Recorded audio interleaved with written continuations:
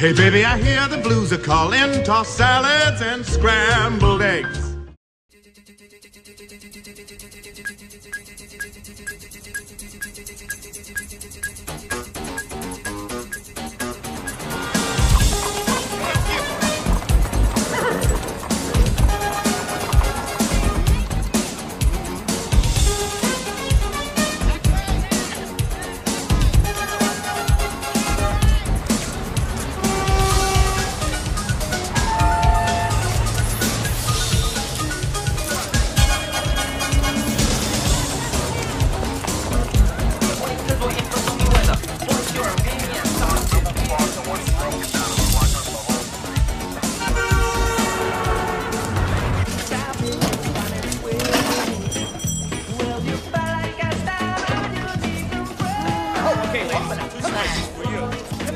Ugh, doesn't that scene just make you want pizza?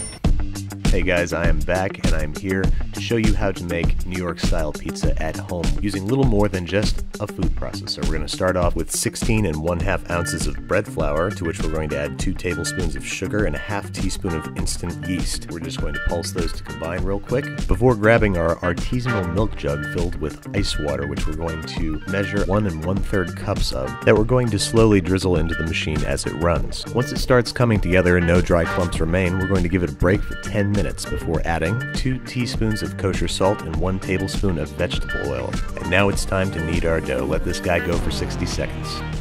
Next up, we're going to lightly oil our countertop because this dough is really, really, really sticky and we need to knead it by hand a little bit. We're not going to be able to do it without some oil. So we just want to knead the dough for a minute or two. We want it to really come together and become silky and smooth and pleasurable to the touch. Then we want to roll it up into a ball lightly oil a bowl. Make sure it's good and greased, and drop our dough inside. Then we're going to wrap the whole thing tightly in plastic wrap, because this guy is headed for the fridge for 24 hours for a slow, cold rise.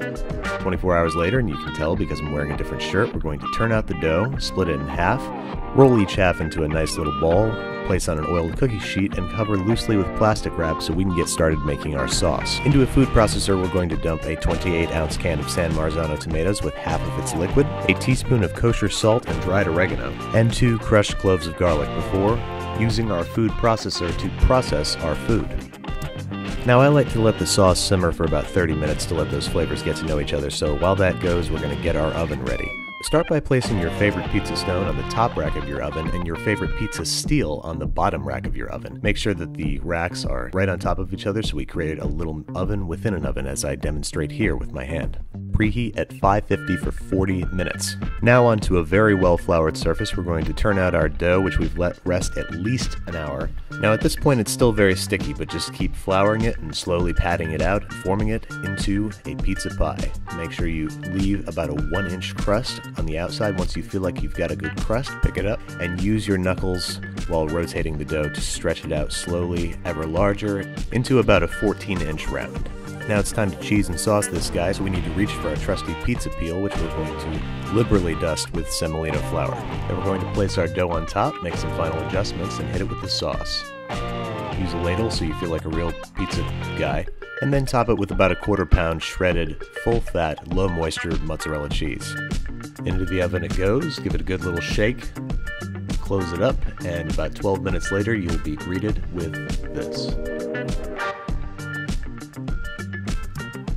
Slice it up into six pieces, or four or eight, I don't really care. And then ideally you want to wait about five minutes to let the pizza cool down, but if you're like me and you don't give a shit about the roof of your mouth, then dig right in. And remember, it's not Secret of the Ooze pizza if you don't get a good cheese stretch.